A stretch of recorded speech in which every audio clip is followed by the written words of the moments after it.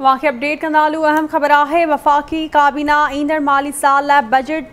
तजवीज़नि की मंज़ूरी ॾेई छॾी है ख़बर अव्हां सां शेयर क्यों पिया अहम ख़बर है वफ़ाक़ी काबीना सरकारी मुलाज़िमनि की पगार में पंद्रह सैकड़ों इज़ाफ़े की मंज़ूरी ॾेई छॾी आहे वफ़ाक़ी काबीना पेंशन में भी पंज सैकड़ों वाद की मंज़ूरी ॾेई छॾी आहे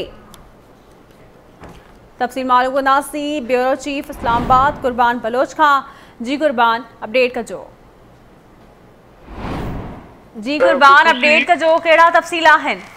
जी काबीना के खुसूसी इजलास में नए माली साल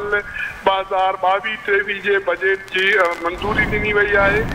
एन बजट इते को इजलास काबीना जो थियो उन भी सरकारी मुलाजिम जे पगार में 15 सैकड़ो ताई वाद जी मंजूरी दिनी वई आए काबीना जे इजलास में वजीर आजम नानी वजाब जेका सरकारी मुलाज़िमनि जे पघारनि में वाद बाबति जेका तजवीज़ थी उनखे रद्द कयो आहे नाणे वारी वज़ारत सरकारी मुलाज़िमनि जे पघारनि में ॾह सैकड़ो ताईं वाद जी तजवीज़ ॾिनी हुई जॾहिं त वफ़ाकी काबीना सरकारी मुलाज़िमनि जे पघारनि में पंद्रहं सैकड़ो जी वाद जी मंज़ूरी ॾिनी आहे काबीना जे इजलास में तक़रीबन ॾह हज़ार अरब रुपियनि जी नई माल साल जी बजेट जी मंज़ूरी ॾिनी वई आहे अठ सौ अरब रुपिया तरक़ियाती प्रोग्राम लाइ मुख़्तस कया विया आहिनि ऐं अरब लॻभॻि दिफ़ाई बजेट लाइ रखिया विया आहिनि त एन एस सी वार जे हिसे जे लाइ ॿाएतालीह अरब रुपिया मुख़्तस कया विया आहिनि जी